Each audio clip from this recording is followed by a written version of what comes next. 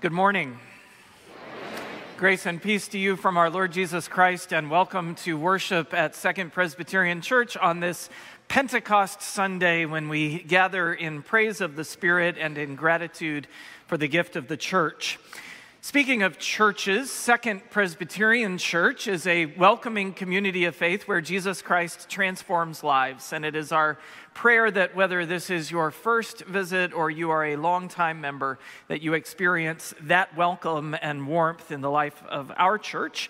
I invite you to pass the welcome books. Those are on in the inside end of each one of your pews. If you're a guest, we'd love to have a way to reach out and welcome you more fully. You can leave information either in the welcome book or using the QR code on the back of the bulletin. And if you have a prayer request, we would love to have that. There are slips of paper inside the welcome book, and you can leave those in the offering plate later in worship. Our pastor team will be praying for you throughout the week. Following worship, there's a time of fellowship and refreshment in McFarland Hall. That's behind the sanctuary, down either one of the hallways. And there you will find refreshments as well as a time of fellowship and community building. Today is the last day for our children's choirs to meet.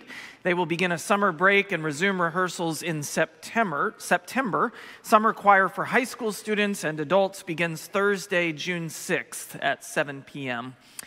Vacation Bible School VBS registration is live on our website through May 31st. VBS is for children ages 4 through 5th grade who are invited to attend a week of music, art, Bible stories, and fun June 24th through 28th.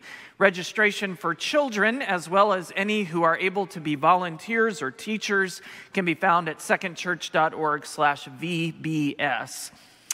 On Wednesday evening at 7 o'clock here in the sanctuary, there will be a memorial service to remember loved ones who have died during the last year. All are invited to that service at 7 o'clock on Wednesday evening, a chance to remember, give thanks, and grieve together. The final art song series uh, concert of the season, Songs of the Stage, will take place May 30th at 7:30 p.m. again here in the sanctuary. That's a free concert and dessert reception following in McFarland Hall. Next Sunday, May the 26th, we will have one Sunday morning service, and that service will be, mark your calendars, at 9 o'clock a.m. We'll gather here in the sanctuary at 9 a.m. to be sure that you all can make it to whatever other festivities uh, you will have on your calendar next Sunday. 9 o'clock here in the sanctuary. Two weeks from today, on Sunday, June the 2nd, we will have the chance to celebrate the ministry of Lake Fellow Reverend Rachel Klompmacher as her time in the residency comes to a close. Rachel will be preaching at both services, 8:15 and 10 o'clock, and we'll hold a reception in her honor following the 10 o'clock worship service. That same day, June 2nd, our second Treasures thrift store will have a summer clothing and accessories drop off from 11 o'clock to 1 o'clock at the atrium doors.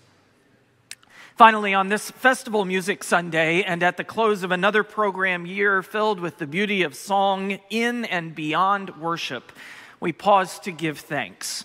We give thanks for the gifts of all those who lead us in worship each Sunday through their gifts of music, and for all of every age who sing, ring, and play. We are grateful. Thanks be to God for the gift of music. Thank you.